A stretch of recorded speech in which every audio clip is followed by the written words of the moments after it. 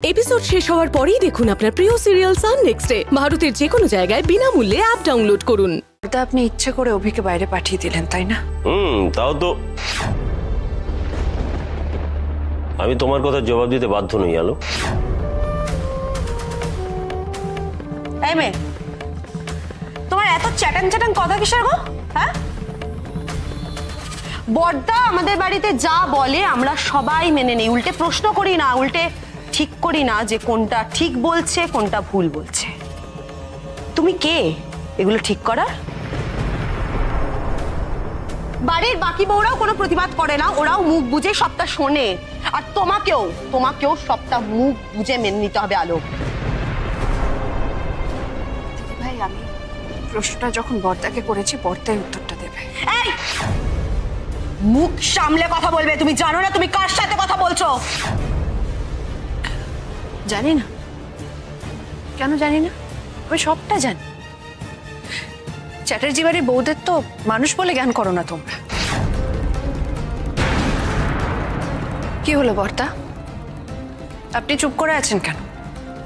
আপনি নিশ্চয়ই জানতেন যে গুরুদেবের আদেশ অনুযায়ী এক মাস শেষ হয়ে গেছে। এখন চাইলেই আমি আর অভি একসঙ্গে থাকতে পারতাম।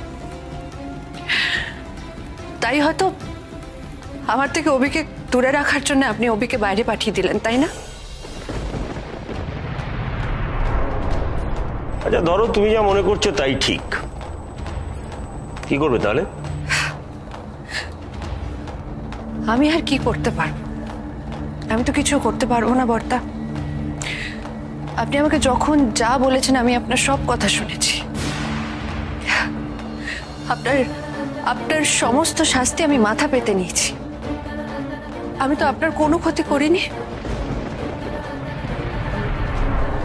তোমার এত বার বেড়েছে না আলো? তুমি ধরাকে সরা জ্ঞান করছ। তোমার মা বাবাকে তোমাকে কোনো শিক্ষা দেয়নি না যে বড়দের সঙ্গে কীভাবে কথা বলতে হয়? তুমি বড়দার সাথে এইভাবে কথা বলছো? দিদি ভাই। এই আলো আমি যা করেছি বেশ করেছি। এই বাড়িতে যা হবে তা আমার কথা মতোই হবে। তুমি কিচ্ছু করতে পারবে না।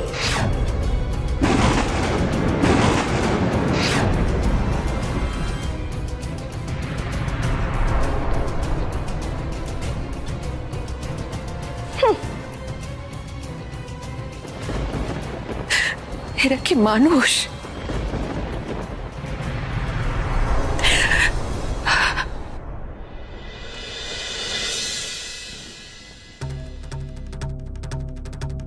আজ থেকে তো নতুন কোম্পানি নতুন অফিস হ্যাঁ? আজই জয়েন করতে হবে। দশটা পঞ্চান্ন ফ্লাইট ফ্লাইট ফ্লাইট মানে? অফিস কোথায়? শিলিগুড়ি।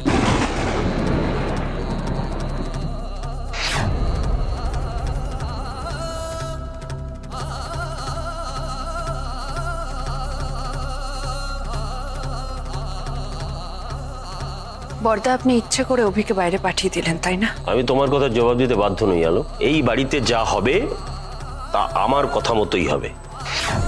তুমি কিচ্ছু করতে পারবে না।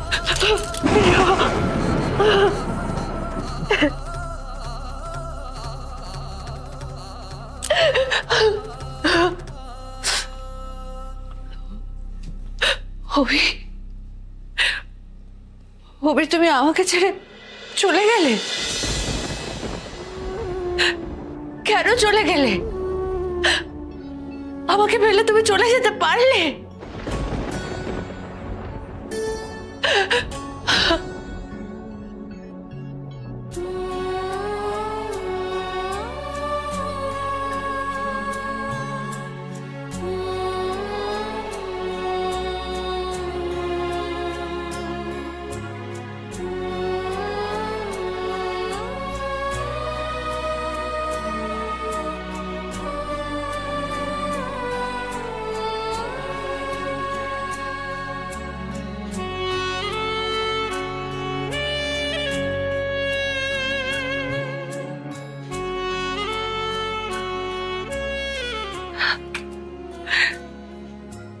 আমাকে প্রতিশ্রুতি দিল।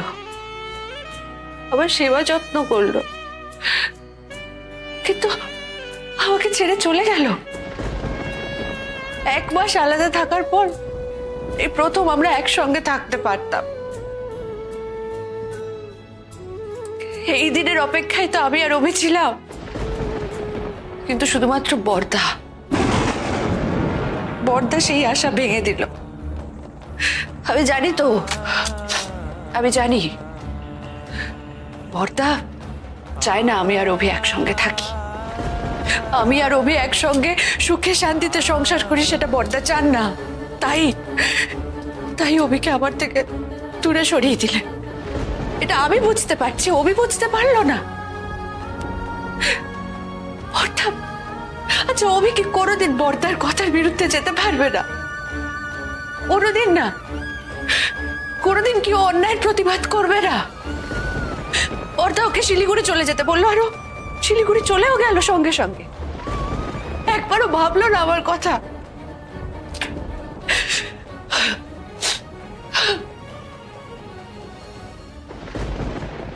এই অবস্থায় কোনো মানুষ ভালো থাকতে পারে বলতো? হ্যাঁ মেজদি। আমার আলোর জন্য খুব খারাপ লাগছে জানো তো? মেয়েটার এমনি শরীর খারাপ। তবুও কোনো রেহাই নেই। যা বলেছিস। গুরুদেবের বিধানের জন্য আলো আর রবি দুজনে এক মাস আলাদা আলাদা থাকল। আজকে থেকে আলো আর রবি দুজনের একসঙ্গে সংসার করার কথা একসাথে থাকার কথা। হিসেব মতো আজ থেকেই কিন্তু ওদের আসল দাম্পত্যের শুরু। হ্যাঁ মেজদি। আর আজকেই বর্দা অবিকে শিলিগুড়ি পাঠিয়ে দিল। আমার কি মনে হয় বলতো? বর্দা এগুলো ইচ্ছে করে করেছে। যাতে আলো আর অভি দুজনে একসঙ্গে সংসার করতে না পারে, সেই জন্য বর্দা করেছে। এই সবটা বর্দার চক্রান্ত। হ্যাঁ মেজি, তুমি একদম ঠিক বলেছ। আমাদের তিন বউয়ের সাথে বড়দের যেরকম সম্পর্ক, তার থেকে অনেক ভালো সম্পর্ক আলো আর অভির। ওরা দুজন দুজনকে ভালোবাসে। আর এটা এই বাড়ির কেউ সহ্য করতে পারে না। আজকে আলো আর অভির একসাথে থাকার কথা, এক ঘরে থাকার কথা। মেয়েটা এতদিন ধরে এত অত্যাচার অন্যায় সহ্য করেছে শুধু আজকের দিনটার অপেক্ষা করে। কিন্তু নন্দিনী এই যে অভিকে আলোর থেকে দূরে সরিয়ে দিল দেখ আলো তো ভেঙে পড়তে পারে। এইভাবে আলোর আর অভির সংসারটা ভেঙে যাবে আর আমরা আমরা চুপ করে থাকব আমরা দাঁড়িয়ে দাঁড়িয়ে দেখব কিচ্ছু করব না। মেজদি ভাই আমরা তো নিরুপায় আমরা কি যে কোনো মূল্যে বর্ধমানের সব থেকে বড় শপিং মলটা আমি বানাবই। তাতে যদি রক্তগঙ্গা বয়ে যায় তো যাবে। সাবু আর সাবুর বাবার কাছ থেকে জমি কি করে আদায় করতে হয়, সেটা দেবরাজ চ্যাটার্জি খুব ভালো করে জানে।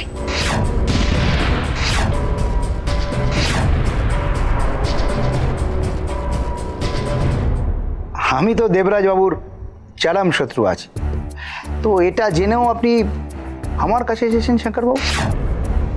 আপনি যদি জমি বিক্রি করতে চান, তাহলে আপনি অন্য কারোকে বিক্রি করুন না না। অন্য কাউকে বিক্রি করলে ওই ওই দেবরাজ চ্যাটার্জি টাকার বিনিময়ে ভয় দেখিয়ে ওই জমি দখল করে নেবে। কিন্তু শঙ্করবাবু ওই জমিটা বেচতে গেলে তো আপনার মেয়ে সাবিত্রী দেবীর সিগনেচার লাগবে। সাবিত্রী আমার কথার অবাধ্য কোনোদিন হবে না। আমি আমি কাগজপত্র তৈরি করে ঠিক সাবিত্রীকে দিয়ে সই করিয়ে নেব। আমি কোনো মতে ওই দেবরাজকে ওই জমিতে হাত দিতে দেব না।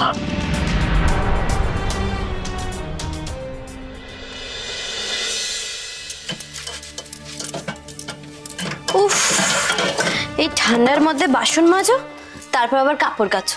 এই করতে করতেই তো সন্ধে পেরিয়ে যাবে। সত্যি বাবা এই কাজের চাপে যে একটু আলোর ঘর থেকে ঘুরে আসব তারও উপায় নেই। মেয়েটা একা একা কি করছে কেমন আছে জানি না বাবা দূর আমার আর ভালো লাগে না। মেজদি ভাই কি করে যাবে বলো তো? ওখানে তো আমাদের রায়বাঘিনী ননদিনী পাহারা দিচ্ছে। দেখলে তো মেয়েটাকে দুধ পর্যন্ত খেতে দিল না। এই নন্দিনী বলছি এখন তো সবার আগে আলোকে কিছু খাওয়ানো দরকার। এমনিতেই আজ সকাল থেকে মেয়েটার উপর যা ধকল গেল তারপর দেখ হুট করে অভিকে শিলিগুড়ি পাঠিয়ে দিল। এটাও তোর মনে একটা বড় ধাক্কা তাই না? ভাই যাবেটা কি করে? ওখানে তো অদ্রিজা আছে। মেজে বৌদি সেজে বৌদি আমি আজ বাড়ি যাচ্ছি গো। আমার আজ বড্ড তাড়া আছে। এই রানী এই রানী রানী আমার একটা কাজ করে দে না বাবা। না না আজ আর কিছু করতে পারব না করে দে না। রানী রানী জানা আলোকে গিয়ে খাবারটা দিয়ে আয় না নইলে সারা রাত মেয়েটা না খেয়ে থাকবে।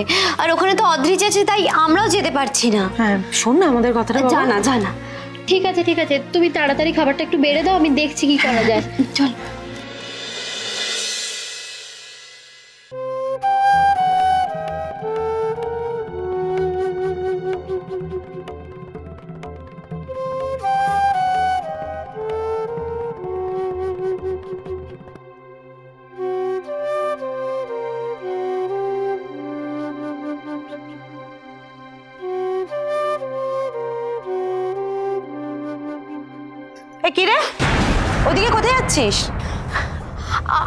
এদিকে মানে ওই এই যা দেখো না দিদি আমি না আমার ফোনটা ঠাম্মার ঘরে ফেলে এসেছি। যাই নিয়ে আসি হ্যাঁ? ব্যাপারটা কীরকম? গোলমেলে লাগছে?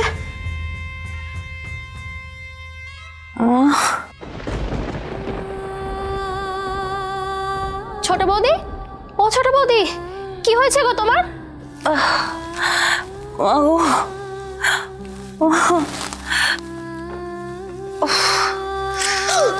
মা জ্বরে তো গা পুড়ে যাচ্ছে। আবার জ্বর এসেছে। অভি ইস বেচারি।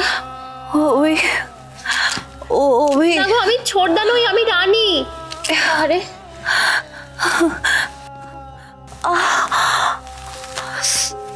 আহ, কি পেট ব্যথা করছে। সে কি গো? পেট ব্যথা করছে? ইস। এ তো একেবারে ঘোরের মধ্যে আছে। তবে কি পেট ব্যথার জন্যই জ্বরটা এলো? না না, এক্ষুনি ডাক্তার না দেখালে ওষুধ না পড়লে তো বড় কিছু হয়ে যেতে পারে। ও, অভি অভি অভি অভি।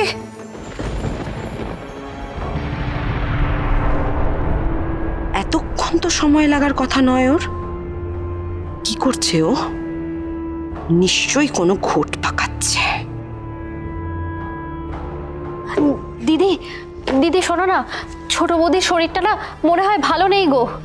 আলোক কেমন আছে রে? মনে হলো তো ছোট বৌদির শরীরটা একদম ভালো নেই। অদ্রিজা তুমি আলোর ঘরে যাও। গিয়ে দেখো আলোকে ডাক্তার দেখাতে হবে কিনা। আর তুমি যদি না যাও তাহলে কিন্তু আমরা যাব। হ্যাঁ অদ্রিজা শুনলে তো আলোর শরীর খুব খারাপ। তোমরা কি ভাবো বলো তো নিজেদের? তোমরা খুব চালাক। আমি ঘাসে মুখ দিয়ে চলি তাই তো? আরে কি বলছো আমরা তো কিছু বুঝতেই পারছি না। এই নাকাশে জোড়া নিজেরা আলোর ঘরে যেতে পারছ না বলে কি রানীকে পাঠিয়েছো খোঁজ নিতে? না কখনো না। তুমি এটা কি বলছো? যা বলছি ঠিক বলছি। আমি না তোমাদের হাড়ে হাড়ে চিনি জানো? নাহলে ঠাম্মির ঘরে ফোন আনতে গিয়েও আলোর ঘরে ঢুকলো কি করে? শেষমেশ বাড়ির কাজের লোককে দিয়ে গোয়েন্দাগিরি করাচ্ছ? ছে! শোনো আমি না শখ করে ছোট বৌদির ঘরে যাইনি হ্যাঁ? দরজার বাইরে দিয়ে আসতে গিয়ে ছোট বৌদির গোঙানির শব্দ পেয়ে গেছি। দাঁড়াও। তোমাদের আমি দেখাচ্ছি মজা। দাদাকে একবার ফিরতে দাও। তারপরে তোমাদের দুজনের নামে আমি নালিশ করব দাদার কাছে। না, আমি এতক্ষণ অপেক্ষাই বা করব কেন? আমি তো দাদাকে ফোন করেই সবটা বলতে পারি। এবার আমাদের কপালে কি আছে কে জানি? রোজ রোজ আর এই এক ঝামেলা ভালো লাগে না। আমরা আলোর জন্য কিচ্ছু করতে পারলাম না।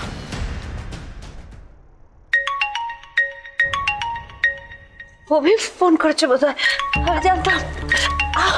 আমি জানতাম অভি আবার ফোন করবে। হ্যালো? হ্যালো? হ্যালো আলো? কেমন আছো? ও বর্দি ভাই। হ্যাঁ আমি আমি ঠিক আছি। আলো তোমার গলাটা এরকম লাগছে কেন? শরীর ঠিক আছে তো? হ্যাঁ আমি ঠিক আছি। আলো বাড়িতে আবার নতুন করে কোনো অশান্তি হয়েছে নাকি? না না সব ঠিক আছে। তুমি ভালো আছো তো? আমার ওই চলছে একরকম। আসলে দুদিন পরে মায়ের কাজ। সেজন্য বাড়িতে সেরকম কোনো লোকও ডাকা হচ্ছে না। আর আমার বাবা তো তোমার বর্দাকে নেমন্তন্ন করতে রাজি নয়। কিন্তু তুমি তো শ্মশান যাত্রী ছিলে। আমি ভাবছি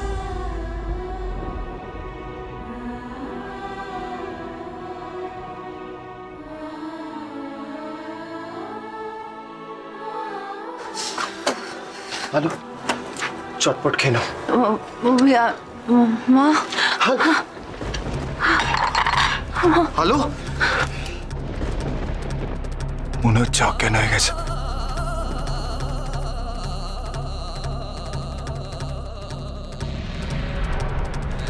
এ কি আলো তোমার গা তো জ্বরে পুড়ে যাচ্ছে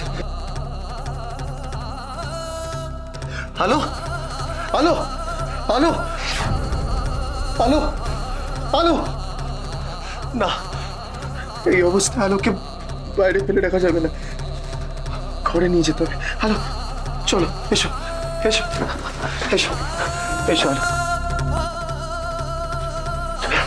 আলো আলো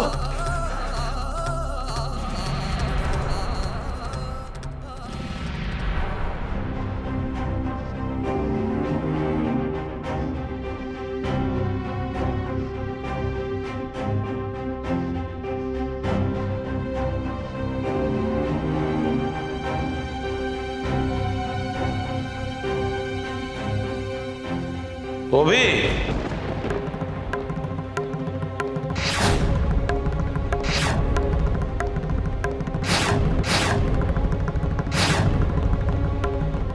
তুই আলোকে নিয়ে কোথায় যাচ্ছিস? তুই বর্দার আদেশ অমান্য করছিস অভি। বর্দা! দেখো বর্দা অভি কি করছে? একবার দেখো। ওর সাহসটা কত বেড়েছে একবার দেখো। তোমাকে না জানিয়ে আলোকে নিয়ে ভেতরে ঢুকেছে।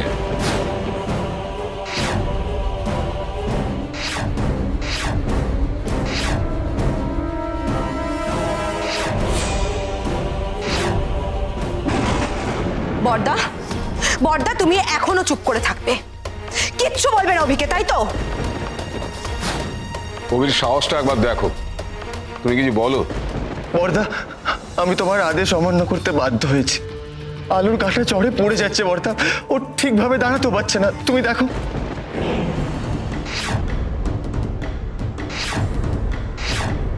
তাই বলে তুই চ্যাংদোলা করে ওকে নিয়ে ভেতরে চলে এলি? আবার চ্যাংদোলা করে ঠিক এইভাবে বাইরে নিয়ে যাও ওকে। বর্দা তুমি আলোকে শাস্তি দিতে চেয়েছিলে। অভি দরদ দেখিয়ে আলোকে ভেতরে নিয়ে এলো। এটা তো অন্যায়। এটা কিন্তু মেনে নেওয়া যাচ্ছে না বর্দা। এক্ষুনি বলো আলোকে নিয়ে এ বাড়ি থেকে বেরিয়ে যেতে। হ্যাঁ আর সাথে সাথে অভিকেও দূর করে দেওয়া বাড়ি থেকে। দুষ্টু গরুর থেকে শূন্য গোয়াল ভালো। বর্দা বর্দা তুমি প্লিজ চুপ করে থেকো না কিছু বলো।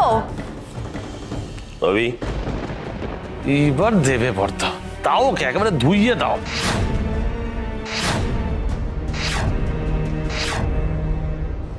আলোকে নিয়ে ঘরে যা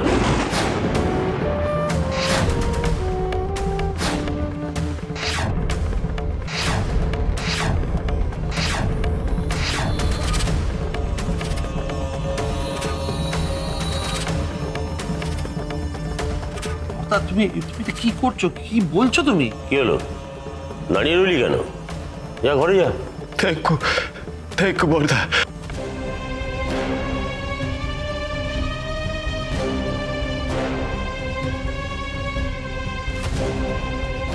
সব কি হচ্ছে বর্দা? কেন তুমি অভিকে ঘরে ঢুকতে দিলে? তুমি তুমি আলোর কাছে হার মানলে বর্দা। আমি তো আমি তো ভাবতেই পারছি না যে আলো এভাবে তোমার কাছে নাটক করে জিতে যাবে। কেন এটা করলে বর্দা? কেন? ছোটবেলায় বাঘবন্দি খেলার কথা মনে আছে তোদের?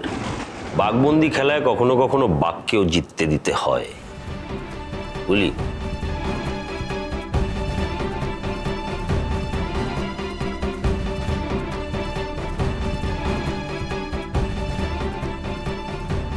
বুঝলি না তো? আচ্ছা তাহলে সাপলুডো দিয়ে বোঝাই। সাপ লুডো খেলায় গুটিকে কখনো কখনো ময়ে তুলে দিতে হয়।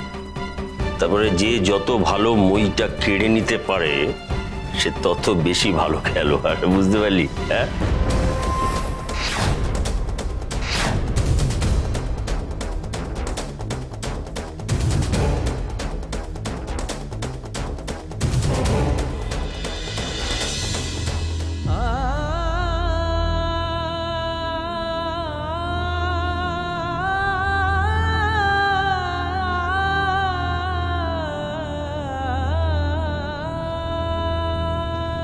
এত জ্বর। তো গা পড়ে যাচ্ছে।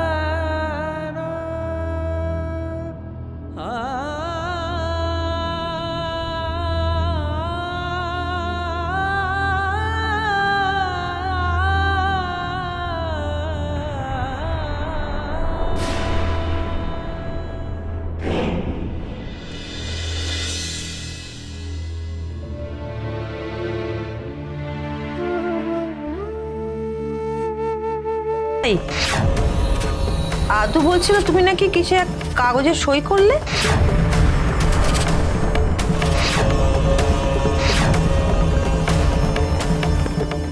আমি কই? মিথ্যে কথা বলার চেষ্টা করো না বড় বৌদি। কি মিথ্যে কথা কেন বলব? আসলে আমি কিছু মনে করতে পারছি না। আমার চোখে চোখ রেখে মিথ্যে কথা বলা খুব কঠিন। এটা তুমি খুব ভালো করে জানো।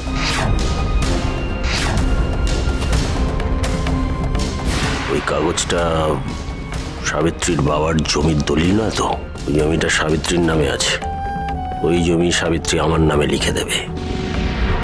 লিখে দিতে বাধ্য হবে। বর্ধমানের সবচেয়ে বড় শপিং মল বানাবো আমি ওই জমিতে।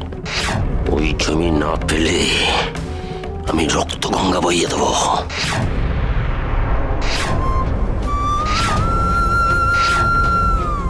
এ তো আলোই দেখছি। আলো।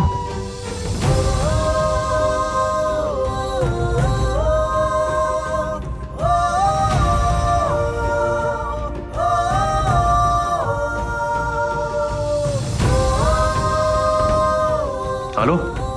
আলো।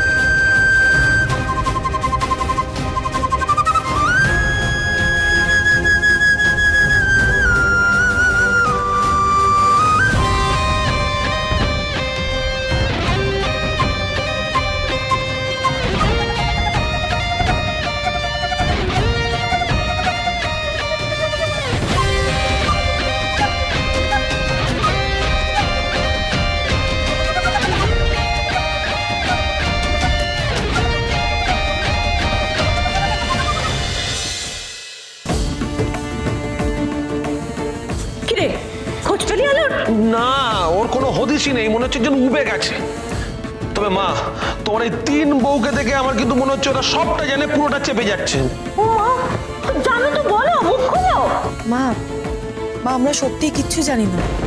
পরে যদি জানতে পারি না তিনজনের মুখ একেবারে চিরদিনের মতো সেলাই করে দেবো। দেখ তিন মূর্তির মুখ দেখো মনে হচ্ছে যেন ভাজা মাছটি উল্টে খেতে জানে না। কিন্তু চোখ বলছে ওরা সব জানে কিন্তু বলছে না। শোনো আমার নাম চারুলতা চ্যাটার্জি। পেট থেকে কথা কি করে টেনে হিঁচড়ে বার করতে হয়, সেটা আমি খুব ভালো করে জানি। সাবিত্রী, এখনও কিন্তু সময় আছে। আলো কোথায় বলে দাও।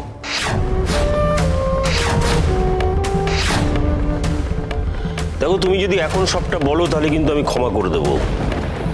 তারপরে যদি জানি যে তোমরা সব জানা সত্ত্বেও চেপে গিয়েছিলে তাহলে কিন্তু তিন বইয়ের জীবন আমি বিষিয়ে দেবো।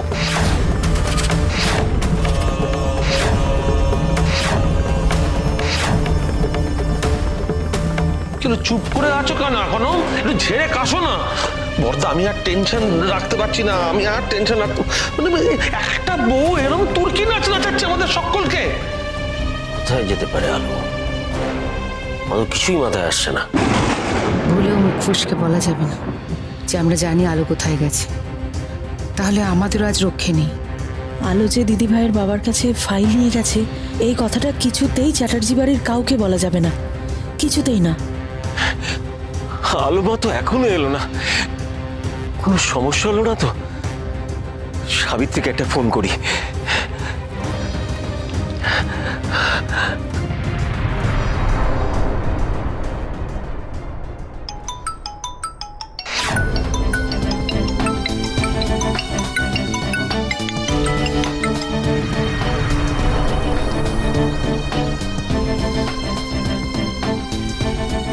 সাবিত্রী ফোনটা কেটে দিল কেন? তাহলে কি চ্যাটার্জি বাড়িতে কিছু ঘটলো? আমি যে কি করব এখন তো কিছুই বুঝে উঠতে পারছি না। কি করব আমি? আলো আমি আলোর ফোনে একটা ফোন করে দেখি।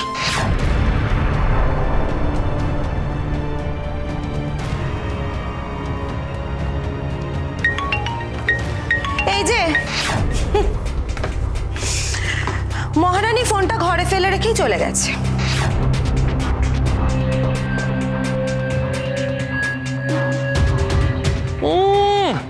ফেলে যায়নি ও রেখে গেছে। যাতে আমরা ওকে খুঁজে না বার করতে পারি। ও মা গো মা কি স্বপ্নেছি মেয়ে? হ্যাঁ কি প্যাচের বুদ্ধি দেখেছ? হ্যাঁ এ তো বাড়ির সবাইকে বেঁচে খাবে। একদম। আর মাস জ্বালিয়ে দিল এই বউ হ্যাঁ? এত রাতে বাড়িতে বউ নেই লোকে শুনলে কি ভাববে? ছি ছি ছি ছি ছি ছি ছি। মানে মান সম্মান আর কিছু রইল না। চ্যাটার্জি বংশের মুখে একেবারে কালি লেপে দিল। হে ভগবান ছি ছি ছি ছি ছি। আমার কেন যেন একটা সন্দেহ হচ্ছে। দেখি তো অভিকে একটা ফোন করে দেখি তো।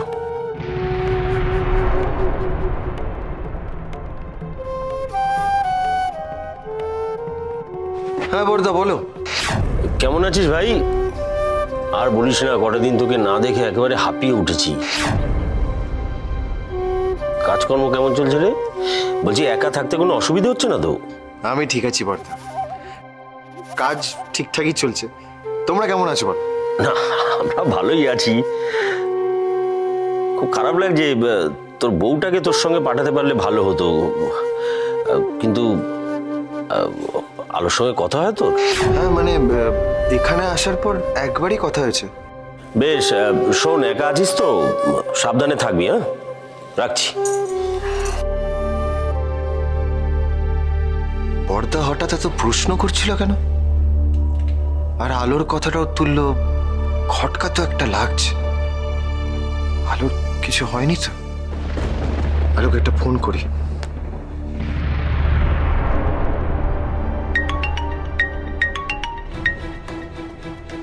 এই কে ফোন করছে রে?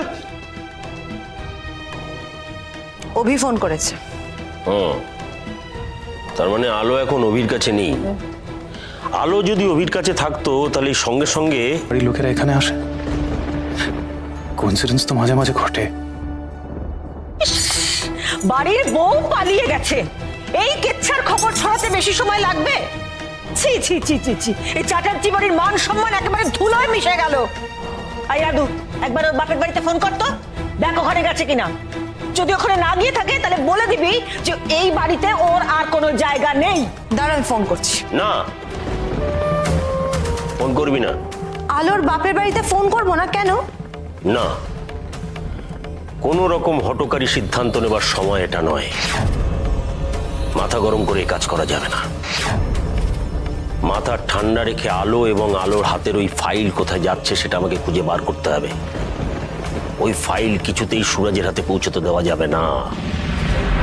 ওই ফাইল যদি একবার সুরজের হাতে পৌঁছয়, তাহলে আমি শেষ, আর সব শেষ। আর দেবরাজ চ্যাটার্জি শেষ হয়ে যাওয়ার আগে তার শত্রুপক্ষকে আগে শেষ করে দেবে।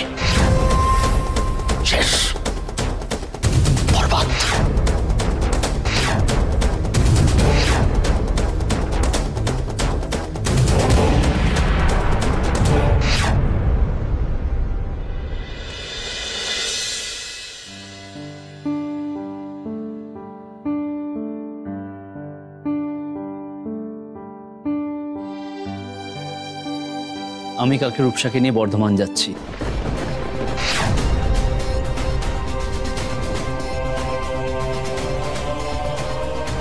হঠাৎ? কি ব্যাপার? ওখানে একটা চাকরির খোঁজ পেয়েছি তাই। আর আমার একটা চাকরির খুব প্রয়োজন এখন। একজন পিএইচডি করার কথা ছেড়ে হঠাৎ চাকরির কথা কেন ভাবছে? হ্যাঁ ঠিকই তো। তুমি আগে পিএইচডিটা কমপ্লিট তো করো তারপর চাকরি তো পেয়েই যাবে।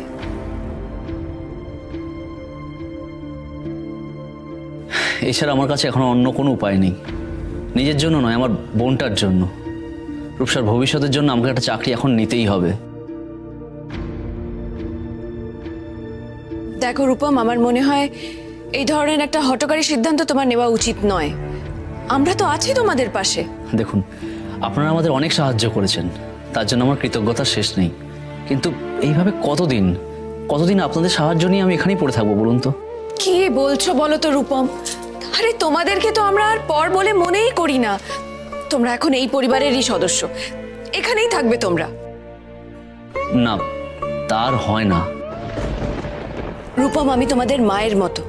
এভাবে জেদ করে নিজের ভবিষ্যৎ নষ্ট করো না। না না জেদ কেন করব? নিজের বোনের প্রতি তো আমার একটা দায়িত্ব আছে। সেই দায়িত্ব তো আমায় পালন করতেই হবে।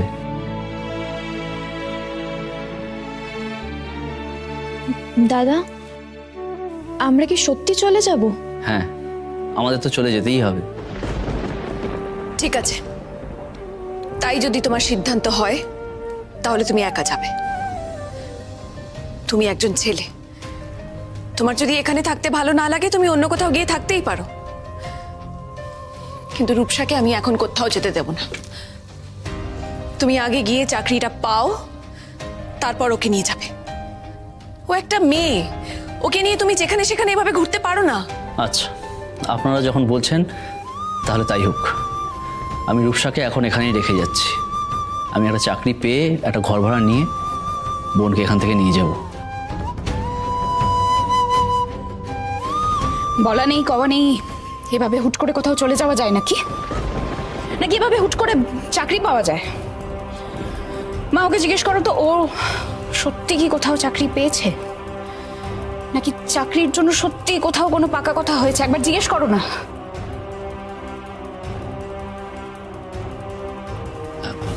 না না মানে ওখানে অনেকগুলো কোম্পানি আছে। আমি সবকটাতেই যোগাযোগ করব। আমার কেমন যেন একটা খটকা লাগছে। কোথায় চাকরি করতে যাচ্ছে? পরিষ্কার করে কিছু বলছে না কেন Rupu?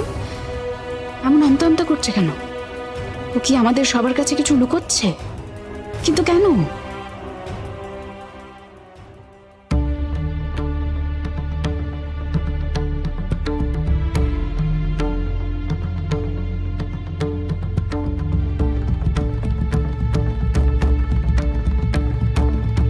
Doctor doctor may I come in yes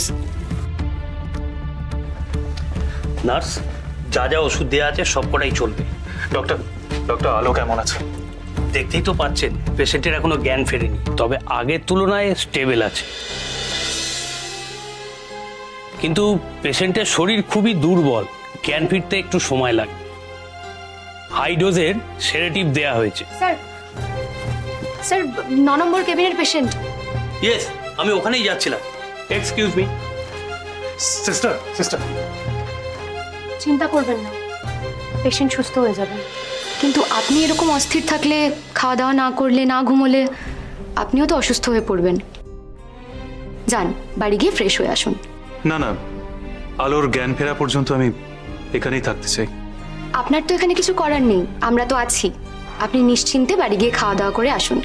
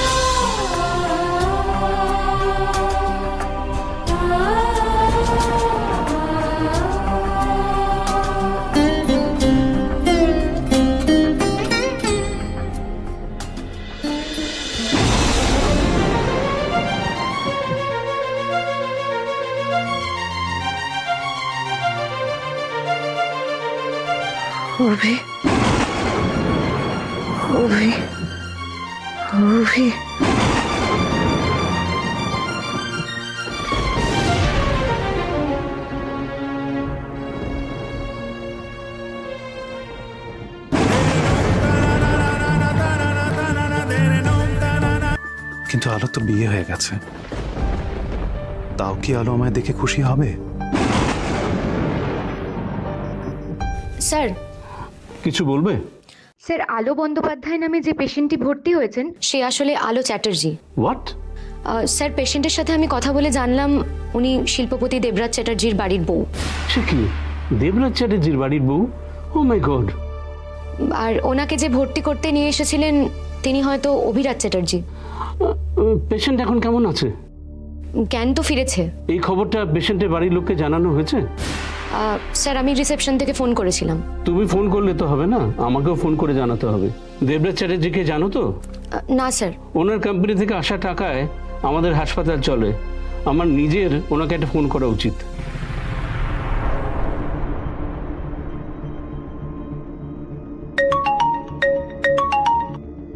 hello. Hello sir. এইমাত্র জানতে পারলাম কাল রাতে যে পেশেন্ট আমাদের হাসপাতালে ভর্তি হয়েছিলেন তিনি আলো চ্যাটার্জি আপনাদের পরিবারের একজন। হ্যাঁ বাবা, আলো আমার ছোট ভাইয়ের বউ। কাল থেকে ওর খোঁজে আমরা সবাই ভীষণ অস্থির হয়েছিলাম। কি হয়েছিল ওর? স্যার ঠিক জানি না কি হয়েছিল তবে ওনাকে অজ্ঞান অবস্থায় নিয়ে আসা হয়েছিল। এখন অবশ্য জ্ঞান ফিরেছে। আচ্ছা ঠিক আছে এক্ষুনি আমি না না আমরা আমরা সবাই হাসপাতালে আসছি দাঁড়ান।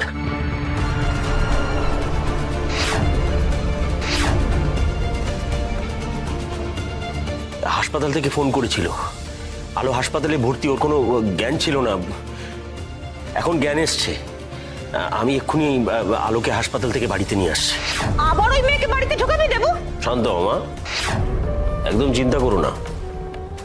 এ বাড়ি ছেড়ে আলো যে বেশি দূরে যেতে পারবে না সেটা আমি জানতাম। এ এলাকায় সবকিছু আমার ইশারায় চলে আলো সেটা জানে না। সবকিছু আমার হাতে। চারিদিকে আমার জাল বিছানো আছে। আমার পাতা জাল কেটে বেরোনো অত সহজ নয়।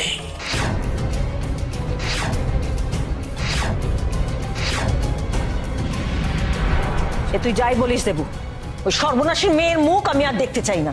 কিন্তু আমার যে এখনও আলোকে দিয়ে অনেক কাজ করানোর বাকি যতদিন না আমার কাজগুলো শেষ হচ্ছে আলোকে একটু কষ্ট করে সহ্য করতে হবে মা। আর তুমি তো ভালো করেই জানো মা কার্যসিদ্ধির জন্য আমি সব করতে পারি। প্রয়োজনে পায়ে পড়তে পারি, আবার প্রয়োজনে সেই হাতে গলাও টিপতে পারি।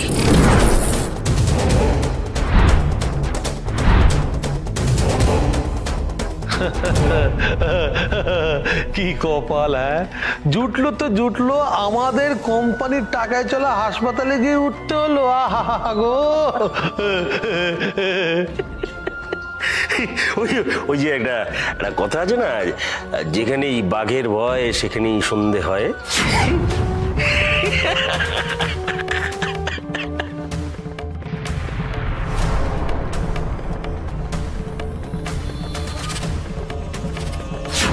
আলো। কোথায় পালাবে আলো? হ্যাঁ? ফাইলটা ফাইলটা কোথায় গেল? বর্দি ভাই সই করা ফাইলটা তো আমার লাগবে। ওটা তো আমার হাতেই ছিল। না না আমাকে যেভাবেই হোক ফাইলটা উদ্ধার করতে হবে। এখানে এভাবে শুয়ে থাকলে হবে না। আমাকে বেরোতে হবে এখান থেকে। এক্ষুনি বেরোতে হবে আমি কি করছেন আমার হাজবেন্ড অভি অভি কোথায়? ও আসেনি এখনও? আসুন স্যার ম্যাডাম ইনি হলেন আমাদের হাসপাতালের অ্যাডমিন হেড উনি একটু আপনার সাথে কথা বলতে চান। Madam we are extremely sorry আমরা জানতাম না আপনি দেবরাজ চ্যাটার্জির বাড়ির বউ। আগে জানলে আপনাকে নর্মাল কেবিনে না রেখে স্পেশাল সুইট রুম দিতাম। দেবরাজবাবু আসছেন ওনাকে খবর দেওয়া হয়েছে। আপনি কিছু চিন্তা করবেন না ম্যাডাম। তার আগে আমি আমি নিজের স্বামীর সঙ্গে একবার কথা বলতে চাই। যাও রিসেপশন থেকে ওনার হাজব্যান্ডের ফোন নাম্বারটা নিয়ে এসো। ওকে স্যার আমার নাম্বার মনে আছে আমি নাম্বার বলছি।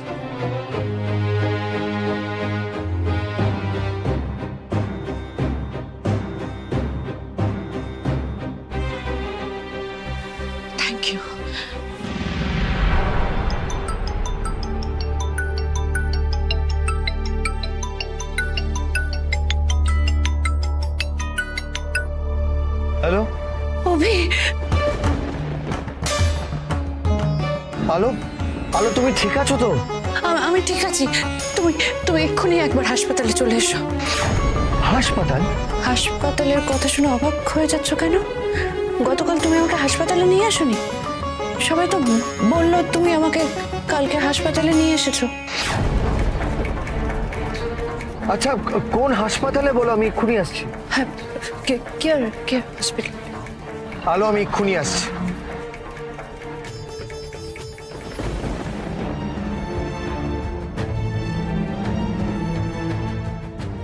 ওনার দিকে লক্ষ্য রেখো। Okay sir. আসছি ম্যাডাম।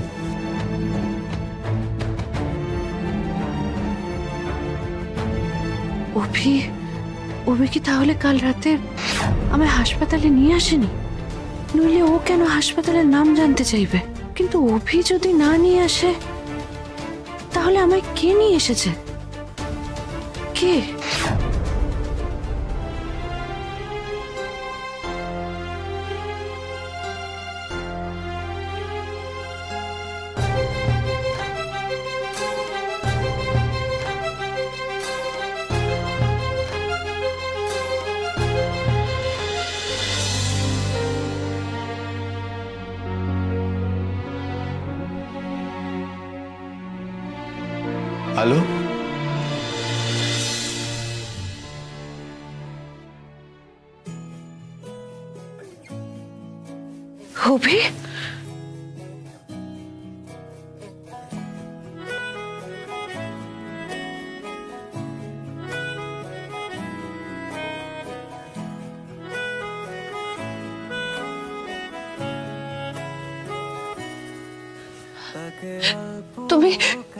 এসেছ অভি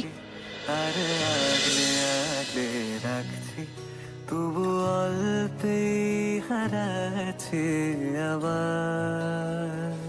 হ্যালো। তাকে ছোঁবো ছোঁবো ভাবছি। আলো তোমার নিশ্চয়ই ফুলগুলো ভালো লাগবে বলো। উনি কি সুন্দর তার আলোর পছন্দ অপছন্দ সবটা জানে। আমি জানি না।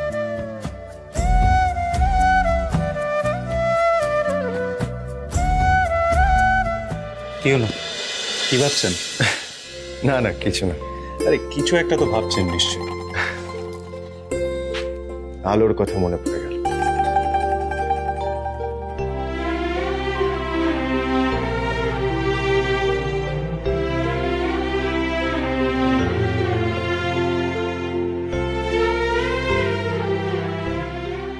আচ্ছা আমরা একদিন একটা কাজ করতে পারি। কি বলুন? এই ধরুন আমরা চারজন একসাথে দেখা করলাম, তারপর জমি আড্ডা দেবো। আলোরাও দুজন দুজনকে চিনে যাবে, জেনে যাবে।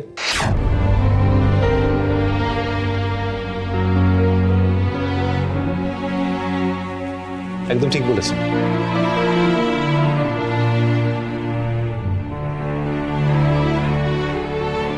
তোমার আলোর সাথে আলাপ করার ইচ্ছে রইল নিশ্চয়ই।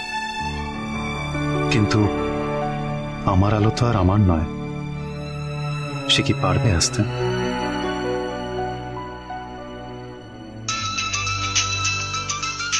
এক এক মিনিট। হ্যালো? হ্যাঁ।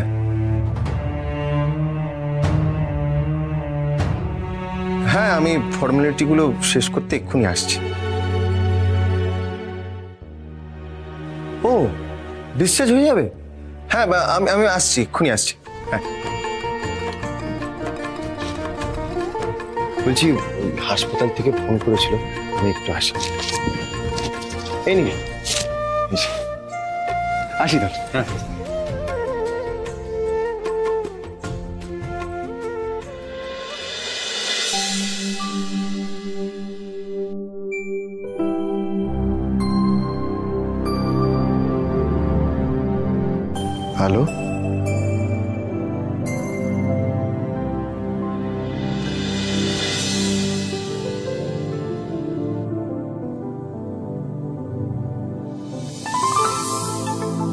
এই দেখো তোমার জন্য কি নিয়ে এসেছি?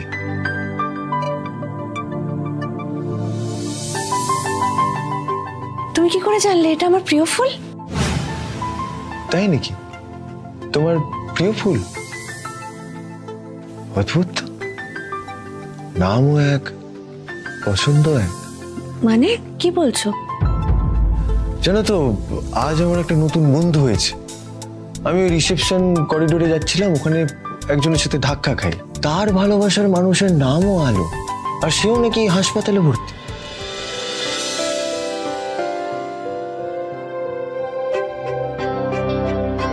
আপনি আপনি আলোর কে হন? আমি আসলে আলোকে অনেক আগে থেকে চিনি। আপনি বলতে পারেন ও আমার খুবই প্রিয় বন্ধু। এই দেখুন না কি অদ্ভুত ব্যাপার। মানে আর কিছুক্ষণ আগে আমরা দুজন দুজনকে চিনতাম না। জানতাম না। কিন্তু এই আলো নামটা আমাদের দুজনকে কি সুন্দর জুড়ে দিল?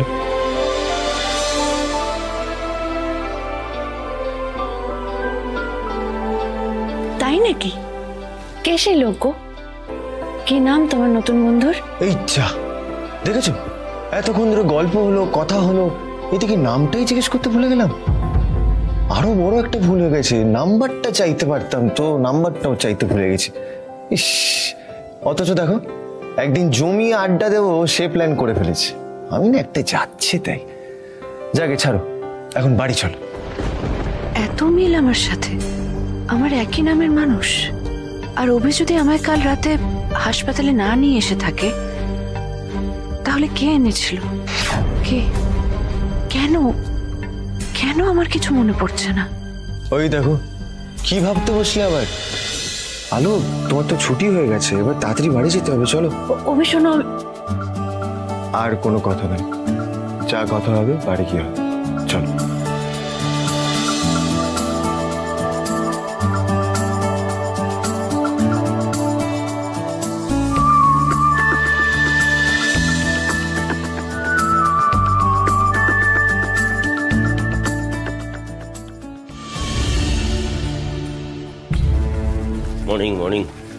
মর্নিং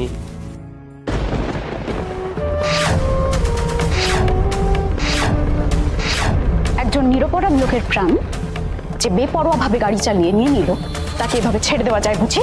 তাকে তো শাস্তি পেতেই হবে। ডায়েরি আমি তুলে নিতেই পারি কিন্তু তার বিনিময়ে আপনাকে ক্ষতিপূরণ হিসেবে পঁচিশ লক্ষ টাকা দিতে হবে। তুমি?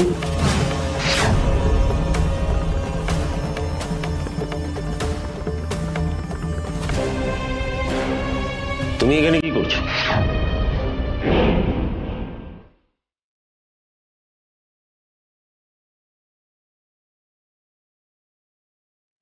আমি জানি আলো।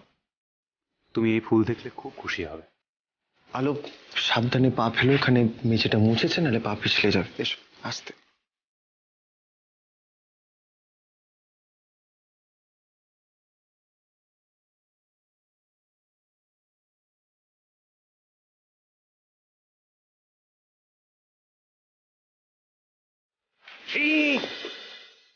সাবধানে সাবধানে।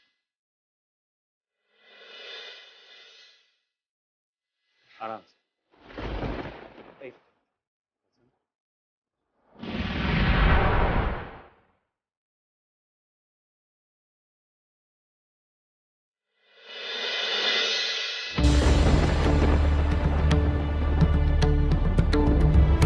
আলো? আলো কোথায় গেল? স্যার পেশেন্ট তো ডিসচার্জ হয়ে গেছে।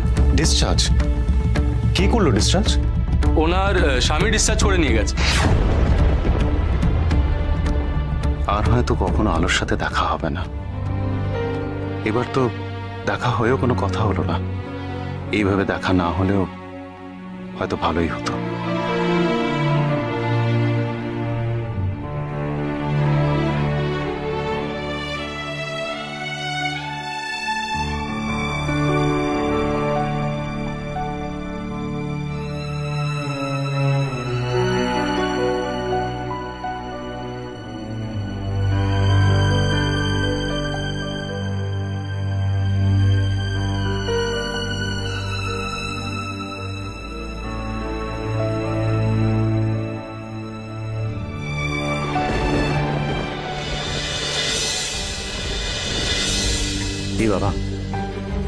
সেই ফাইলটা তো গাড়িতেই রয়ে গেল।